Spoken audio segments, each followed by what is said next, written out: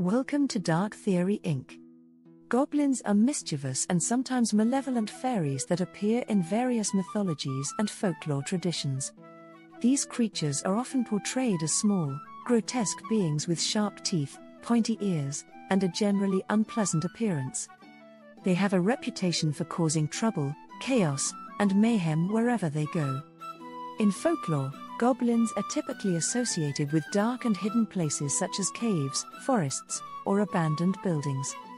They are known to be cunning and sneaky, using their wit and trickery to play pranks on humans and other creatures. Goblins often delight in creating mischief, whether it involves stealing belongings, leading travelers astray, or causing general havoc. While goblins are mischievous by nature, their behavior can sometimes turn malevolent. They may inflict harm or bring ill fortune upon those who cross their path. In some tales, goblins are believed to be responsible for nightmares, curses, or unexplained accidents. Despite their troublesome nature, goblins can also serve as cautionary figures in folklore, warning people of the consequences of greed, foolishness, or disrespect for the natural world. They are often seen as guardians of hidden treasures or sacred places, and intruders who disregard their warnings may face dire consequences.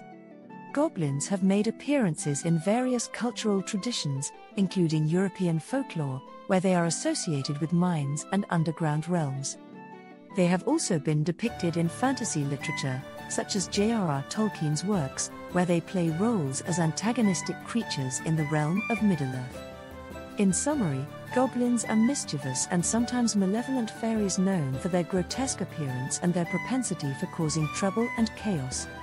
They serve as cautionary figures in folklore, reminding humans of the consequences of their actions and the importance of respecting the natural world.